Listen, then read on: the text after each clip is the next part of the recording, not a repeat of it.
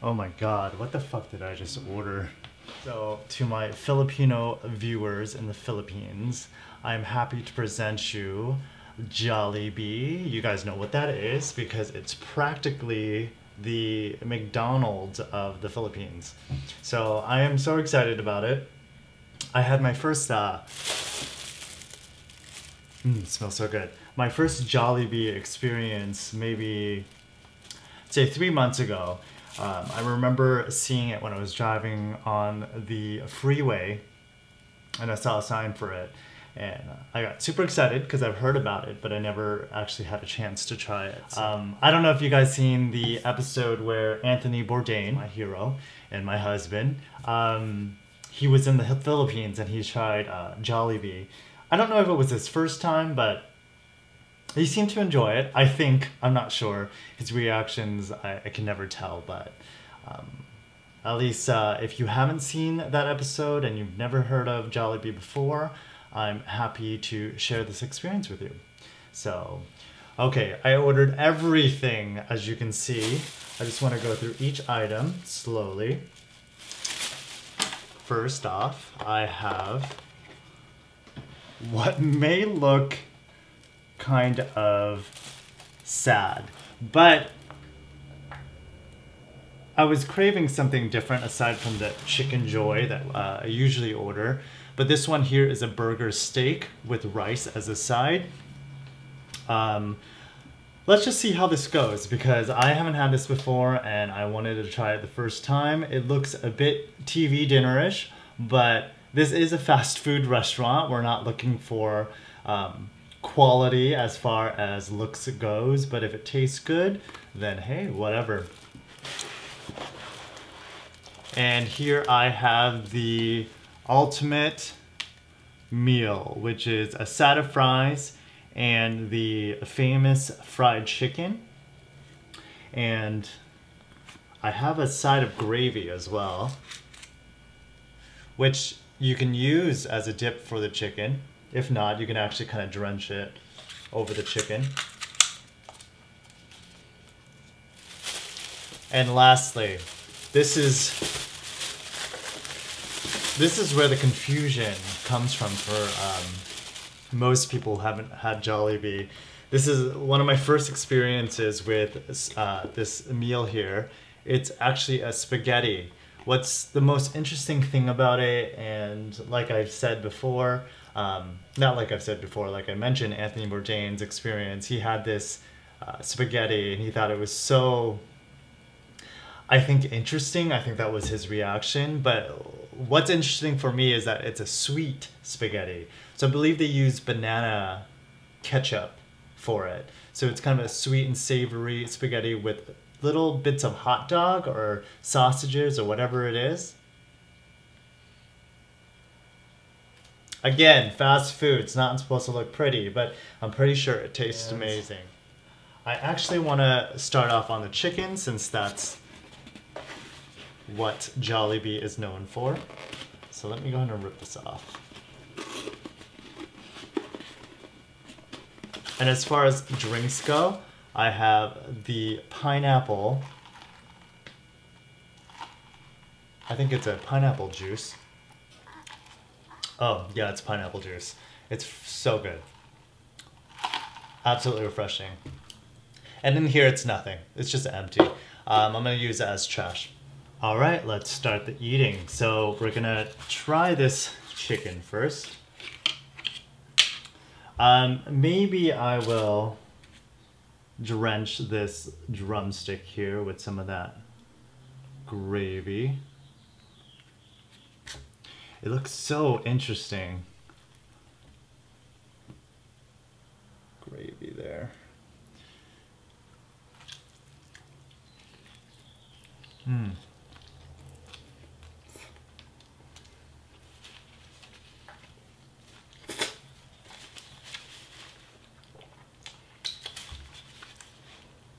Now, the obvious choice for chicken, especially after having already done a a Popeyes video would be KFC, right?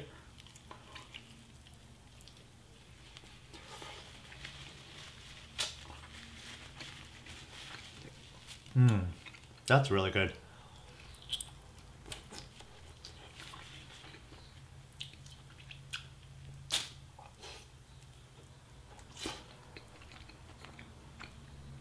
I literally sucked the meat off of that bone.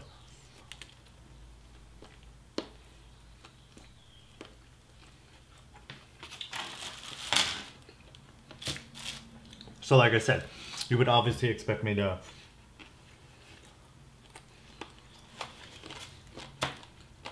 to get KFC, but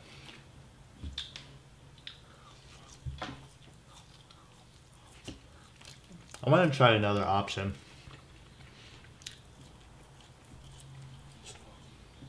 Maybe a KFC video in the future, right? But right now, let's focus on Jollibee because I, I think it deserves a little bit more attention here, attention here in the states. Let's dip it with the gravy. Mmm.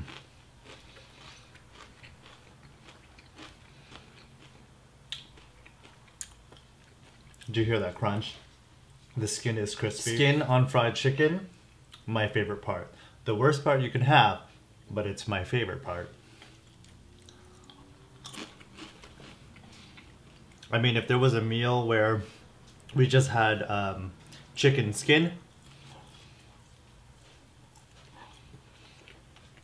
unfortunately, I would, I would be having just that. Mmm, super delicious. This gravy is kind of like that typical gravy that you get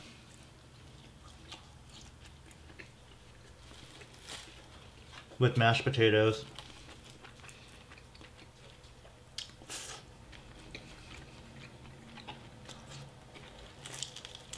So it doesn't have a, a special flavor really, but who would have known that gravy and fried chicken would go so perfectly together.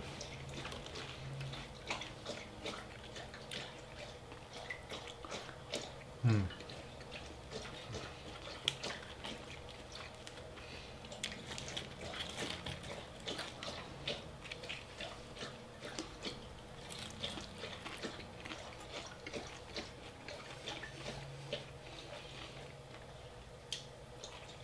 I swear, I think my dog just purposely drinks water while I film.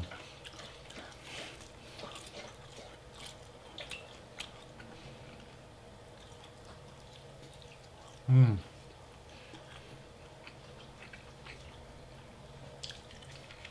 So,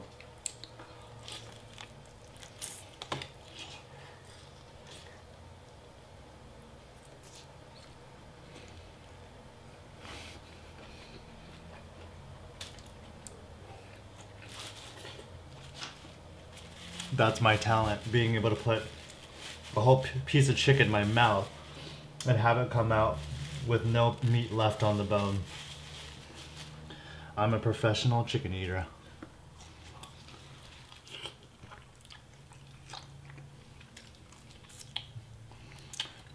So videos like this with fast food or fried foods in general, I think it's perfect for the viewers that are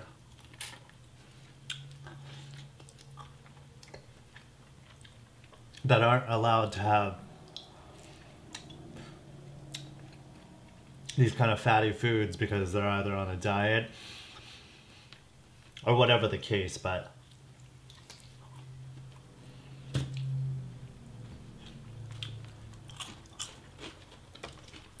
allow me to satisfy your cravings with this good shit. I'm a health freak. I work out a lot. I eat very healthy. So when I shoot videos like this, you're always wondering why I don't gain weight because this will quite frankly be my only meal today. I know this sounds really bad, but I mean, all I have to do is just drink water and maybe I'll have something like oatmeal because oatmeal is low in calories and it fills you up pretty fast, but that's about it. I mean, I can literally last throughout the whole day without eating. I have it I have it down to a science, this food eating. So take a look here. I have that sweet spaghetti.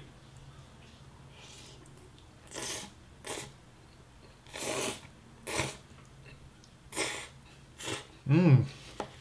That spaghetti tastes better than it looks. A lot of fast food actually tastes better than it looks. There's just something so different about this. I, this is super Asian spaghetti.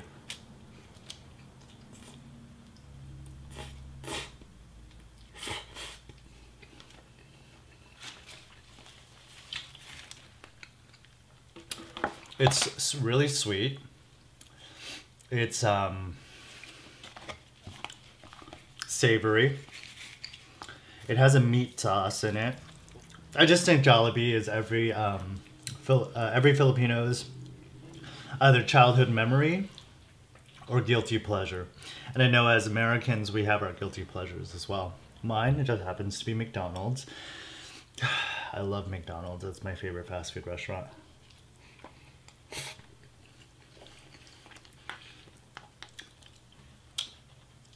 I love Carl's Jr. too, but no one really talks about Carl's Jr. And I think in the East Coast it's called Hardee's. Correct me if I'm wrong, I think it's called Hardee's. Um, but yeah, Carl's Jr. is my other favorite fast food restaurant, but it's not very popular, I don't think.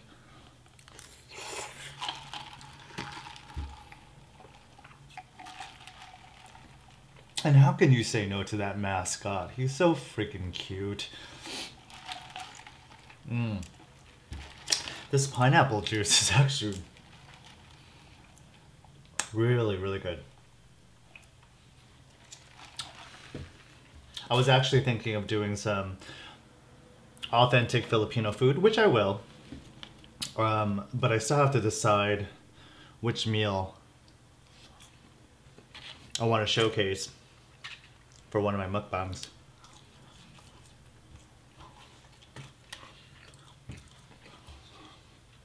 So I'm going to set this aside because I want to. I want to try this sucker. All right. Hey, if it doesn't taste good, since this is my first time having the burger steak, if it doesn't taste good, I'm going to tell you the truth. Okay? So let's just say this is a, a new experience for both of us. So I got a set of rice well, you don't really have a, a choice. So it's basically burger patties drenched in this. I think it's. It might be gravy. Am I crazy? Why didn't I ask? It might be gravy. Hmm. You know what it tastes like? Salisbury steak. It's got mushrooms.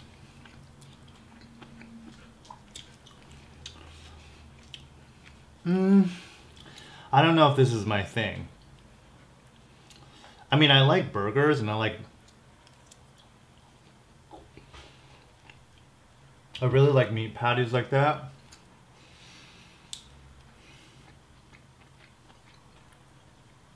But there's something TV dinnerish about this. Like I just popped it in the microwave from the freezer.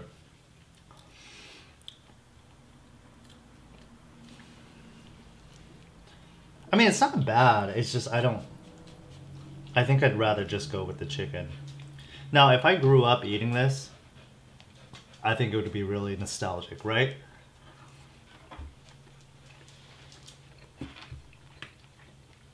I had that kind of relationship with food. If I grow up eating something, even if it's not fantastic, and I have it today, it tastes good to me psychologically. I think somewhere in my head, it tastes good to me because it's reminding me of the good times when I was a child eating it, right? So, I mean, if this is your first time trying it, I don't think it's going to be mind blowing. But I think I feel like it's worth a try, right? Just just try it. I mean, I can tell you now that it tastes like Salisbury, Salisbury steak. So maybe you don't have to go out of your way to get it, but... Hmm.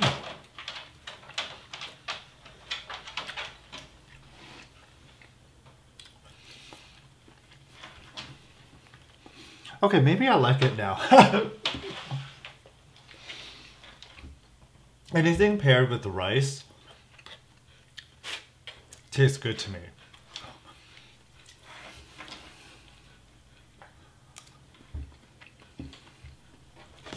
Back to this lovely spaghetti.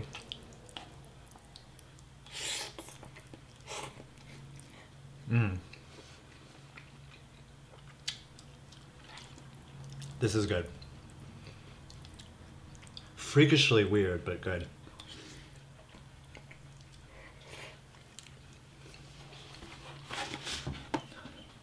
Oh, my leg is cramping. I can't fucking sit right. Let's move this bucket so I can show you my my crazy ass meals.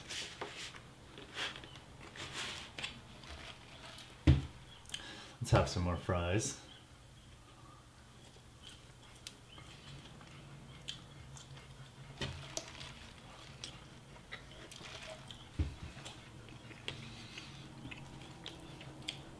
I finally have a day off today.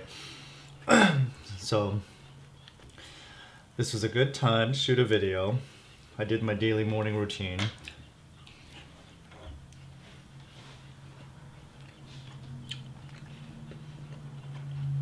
Of getting my coffee.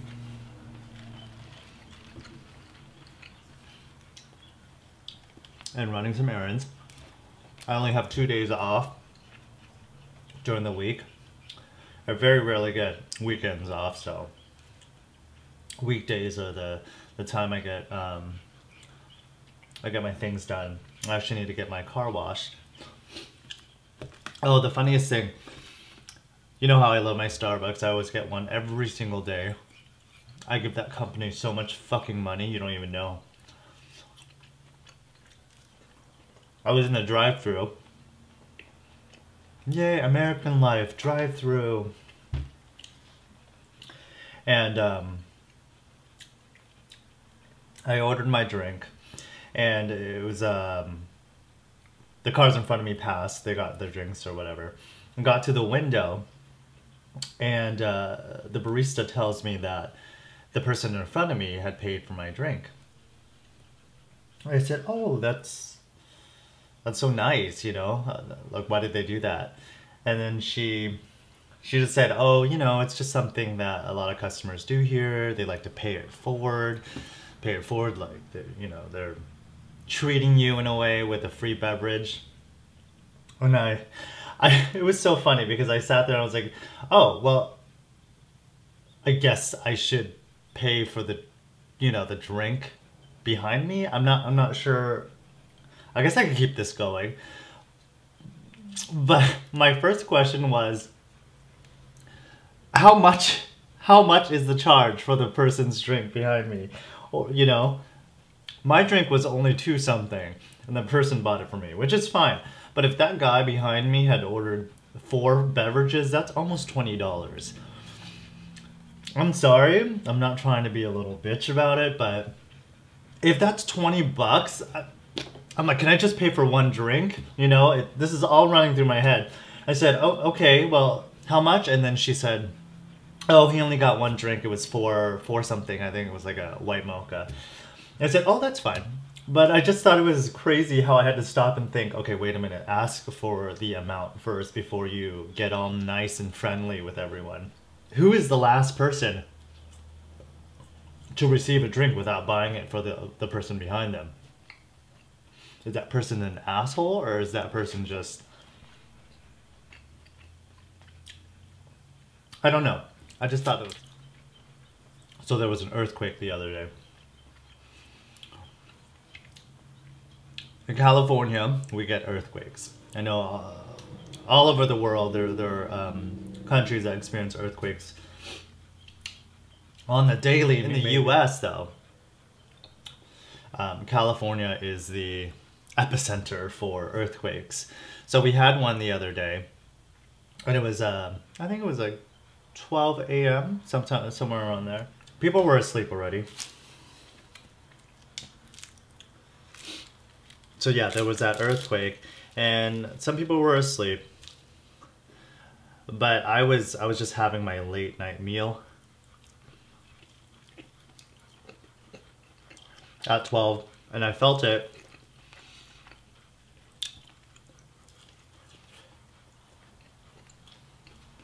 And it really wasn't that strong. But I'm the type of person, I don't freak out in situations like that. And I don't know why I don't freak out. Here's my boyfriend sitting on the couch. He's like, oh my god, there's an earthquake. And I'm sitting there. I'm actually sitting there trying to feel it out a little bit more. I quite literally sat there and said, oh, it's gone. I didn't really feel it there's something crazy going on with me, especially when I want to feel earthquake. Do I not realize that earthquakes kill people? There's something really it's like and I was talking to my coworker about this and she felt the same way. She's like everyone around me was freaking out, but I was I actually wanted to feel it a little bit more. Now that's not coming from a place of hey, I want to be in danger. Well, well, I kind of like that feeling of being in danger. Not necessarily being killed or not necessarily being hurt, but kind of that adrenaline adrenaline rush. I love that. That's why I love roller coasters. I love being scared. I love being spooked. I would go into a haunted house if you invited me to. I would go to into an empty, abandoned and like insane asylum if you wanted me to. I love being scared. It's kind of crazy because I sometimes even imagine myself being chased by a monster. I'm not joking. Like I said, I love scary movies. Or when they're being chased by some evil demon or something like that. I just I imagine myself in that situation and I kind of want to be in that situation. Obviously, I don't want to come out dead. I've said that before, but I just think that rush and that feeling. Oh my god, it's like I just I get a high off that. So if you ever invite me and you want invite me to some haunted house, I will be the first to go. I will be the first.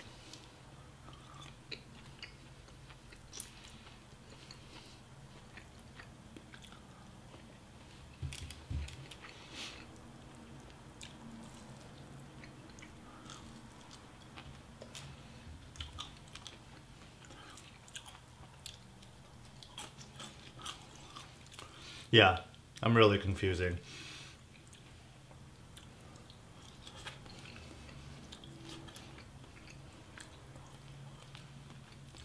What people don't realize is that I'm kind of a, I'm, I'm a weirdo. You probably won't see that on the surface, but I'm kind of a weirdo. But I think I've moved on from that Salisbury steak. It was a good try. Nice try, Jollibee.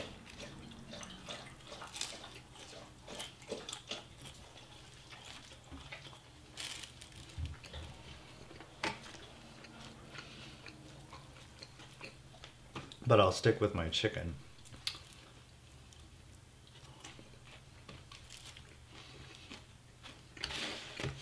I don't know why I try with french fries because they look nice on paper, but I actually never finished them. Kind of like that last video I did for halals. I think it's because the amount of time I spend kind of just putting this food together, the fries are shitty by then. And I kind of don't want to eat them. So anyways, I'll just finish this up. I have some of this.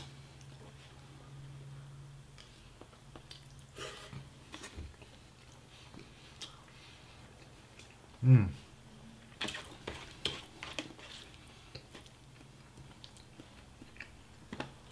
Now you're like, what the fuck is this bitch gonna eat now? Beautiful, right? So Jollibee does have some dessert. This here is what we call Halo-Halo. It has tons of ingredients in there, layers upon layers of things. Um, it has ube ice cream, which is that purple ice cream there. It's got beans, jello, red and green jello. It has flan, I believe, in there. So it just looks like a hot mess. But really, it actually, it, it tastes pretty good. Um, if you guys look up BuzzFeed and Jollibee, you guys will see them actually trying some halo halo as well. So I am definitely not the first person to try this on camera, but I love, I love this kind of stuff. It almost looks like a, a drunk person or even a high person wanted all these ingredients inside just to throw it in into one cup. It's actually quite good, guys.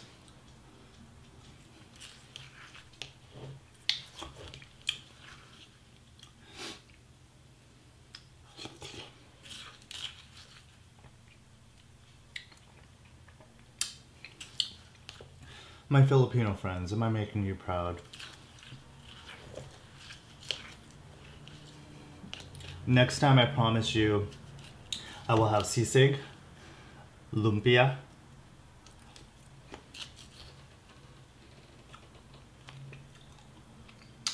pancit, all those damn foods for you guys.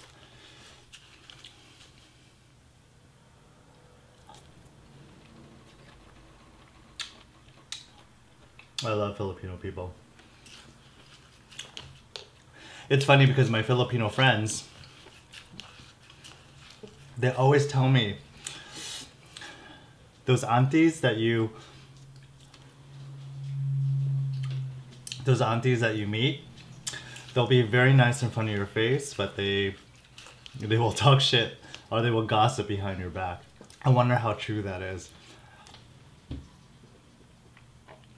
I think in any culture relatives love to gossip but I think Filipinos like to make fun of that as part of their their culture.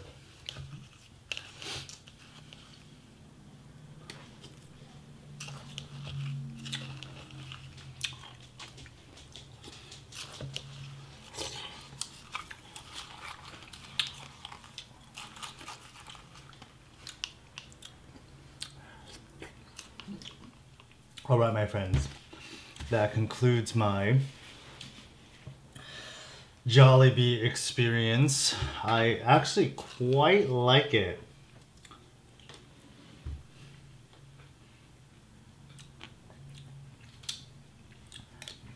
Try to see if you have one near your, um, or in your area.